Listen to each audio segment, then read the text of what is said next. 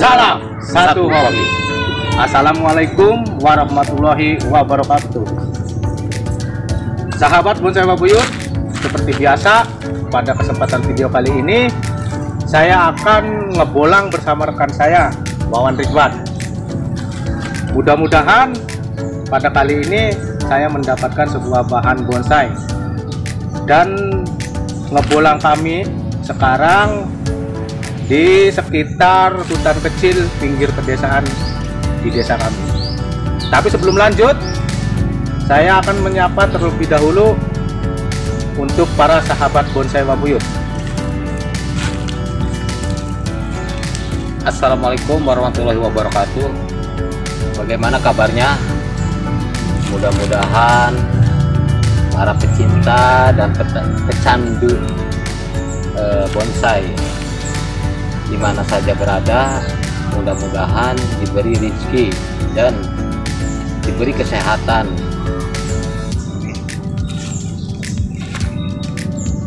dalam video kali ini saya dan rekan saya Noto akan bersama-sama pergi ngebolang ke sekitar hutan kecil di dekat desa kami.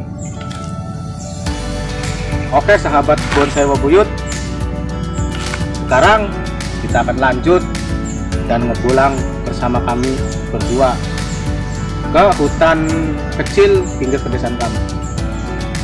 Ikuti terus bonsai Wabuyut. Let's go!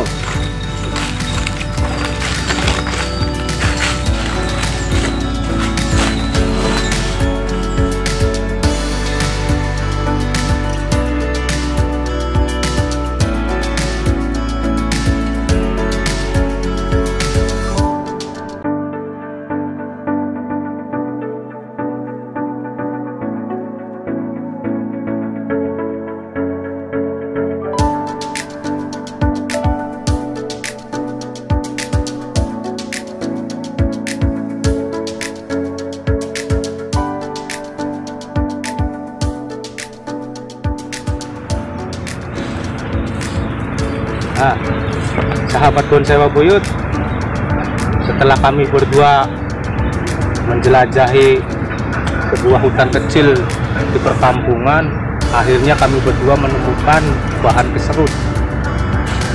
Dan bahan keserut itu menurut saya lumayan dan bagus karakternya. Mari kita akan eksekusi bahan keserut ini. Mari.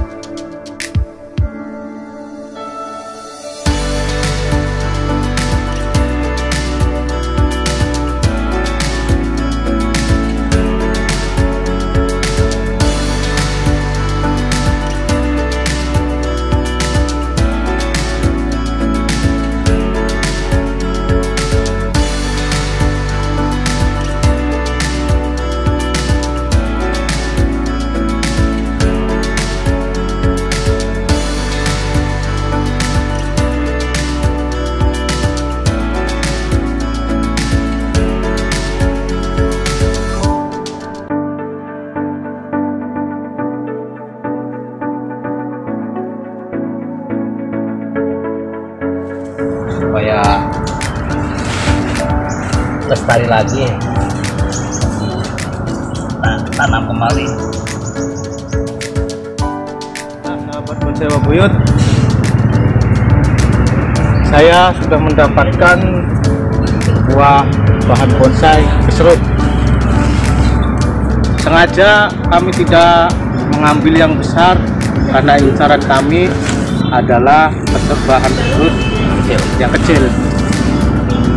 Jadi sekarang kami akan mencoba menanam. Itu menanamnya kami akan menanam liar tidak di dalam pot ketika sudah sampai di rumah. Oke sahabat bonsai wabuyut mari kita untuk menanam bahan bonsai keserut ini di halaman rumah. Let's go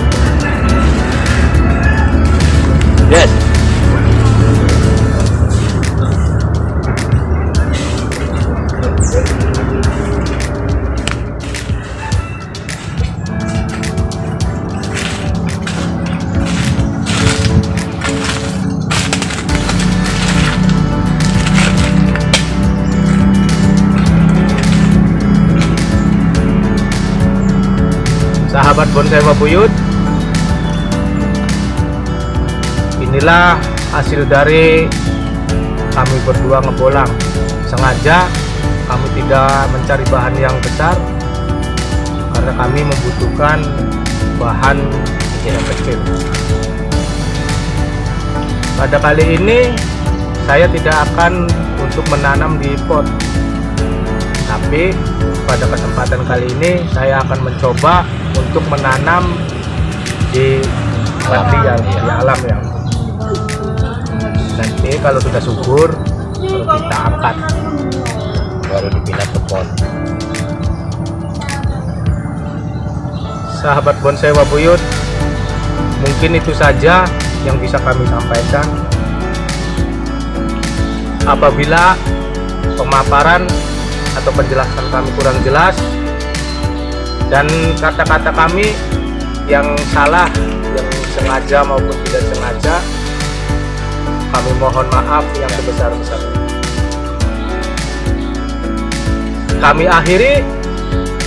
Wassalamualaikum warahmatullahi wabarakatuh.